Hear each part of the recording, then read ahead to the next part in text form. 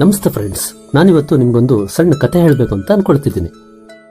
ಒಂದೂರಲ್ಲಿ ಡೆಂಗುರ ಬರೆಸ್ತಾರೆ. ಧಾರಾಕಾರವಾಗಿ ಮಳೆ ಬರುತ್ತೆ, ಹಾಗಾಗಿ ಎಲ್ಲರೂ ಕೂಡ ಸುರಕ್ಷಿತವಾದ ಪ್ರದೇಶಗಳಿಗೆ ಹೊರಡಿ ಅಂತ. ಆಗ ಊರಿನ ಜನ ಗಂಟು ಮಟ್ಟೆ ಕಟ್ಕೊಂಡು ಊರನ್ನ ಬಿಟ್ಟು ಸುರಕ್ಷಿತ ಪ್ರದೇಶಗಳಿಗೆ ಹೊರಡ್ತಾರೆ.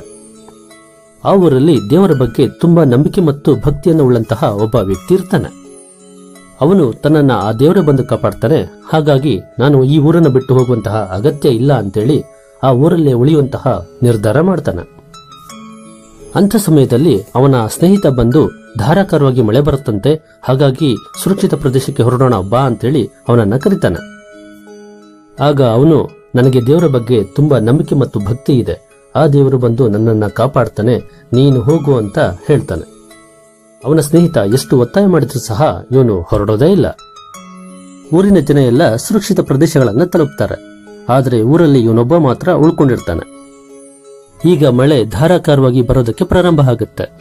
ರಸ್ತೆಯಲ್ಲೆಲ್ಲ ನೀರು ಹೊಳೆಯಾಗಿ ಹರಿಯೋದಕ್ಕೆ ಶುರುವಾಗುತ್ತೆ ಅಂತ ಸಮಯದಲ್ಲಿ ಇವನನ್ನ ರಕ್ಷಣೆ ಮಾಡಬೇಕು ಅಂತಾನೆ ವಿಪತ್ತು ನಿರ್ವಹಣಾ ತಂಡದವರು ದೋಣಿಯಲ್ಲಿ ಬರ್ತಾರೆ. ಬನ್ನಿ, ನಾವು ನಿಮ್ಮನ್ನ ರಕ್ಷಣೆ ಮಾಡ್ತೀವಿ ಅಂತ. ಆಗ ಇವನು, ನನ್ನನ್ನ ಆ ದೇವರೇ ಬಂದು ರಕ್ಷಣೆ ಮಾಡ್ತಾನೆ, ನೀವು ಹೋಗಿ ಅಂತ ಇವರನ್ನ ಒತ್ತಾಯ ಮಾಡಿ ವಾಪಸ್ ಕಳಿಸ್ಬಿಡ್ತಾನೆ. ಈಗ ಮಳೆ ಇನ್ನಷ್ಟು ಜೋರಾಗುತ್ತೆ. ಮನೆಗಳೆಲ್ಲ ಮುಳುಕೊಂಡೋಗ್ತಾ ಇರ್ತವೆ. ಆ ವ್ಯಕ್ತಿ ಮನೆಯ ಮಹಡಿಯ ಮೇಲೆ ಕುತ್ಕೊಂಡು ದೇವರು ಬಂದು ನನ್ನನ್ನ ಕಾಪಾಡ್ತಾನೆ ಅಂತ ಕಾಯ್ತಾನೆ ಇರ್ತಾನೆ.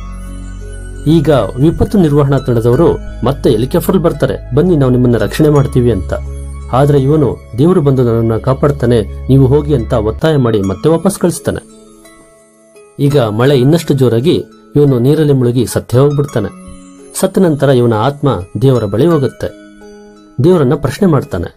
ದೇವ್ರೆ ನಾನು ನೀನು ಬಂದು ಕಾಪಾಡ್ತೀಯ ಅಂತ ಎಷ್ಟು ನಂಬ್ಕೊಂಡಿದ್ದೆ.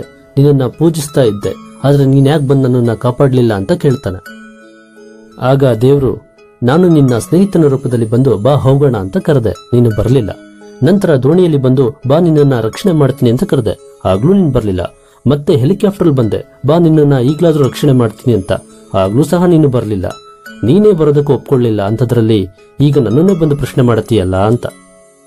ಹೌದಲ್ವಾ? ಎಷ್ಟು ಸರಿ ನಾವು ಕಷ್ಟಗಳು ಬಂದಾಗ ಆ ದೇವರು ಬಂದು ನಮ್ಮನ್ನ ಕಾಪಾಡ್ತಾ ಇಲ್ಲ ಅಂತ ಅನ್ಕೊಳ್ತೀವಿ. ಆದರೆ ಆ ದೇವರು ಯಾವುದೋ ಒಂದು ರೂಪದಲ್ಲಿ ಬಂದು ನಮ್ಮನ್ನ ಕಾಪಾಡಿದ್ದನ್ನ ನಾವು ಗುರುತಿಸಲಾರದೆ ಹೋಗ್ತೀವಿ. ಕಷ್ಟದಲ್ಲಿದ್ದಾಗ ಕಾಪಾಡೋ ಕೈಗಳಲ್ಲಿ, ಹತಾಶೆಯಲ್ಲಿ ಎಲ್ಲ ಮುಗಿತು ಅಂತ ಕೂತಿದ್ದಾಗ ಉತ್ಸಾಹ ತುಂಬುವಂತಹ ನುಡಿಗಳಲ್ಲಿ, ನಿಷ್ಕಲ್ಮಶ ನಗುವಿನಲ್ಲಿ ಆ ದೇವರು ಸದಾ ಇದ್ದೇ ಇರ್ತಾನೆ.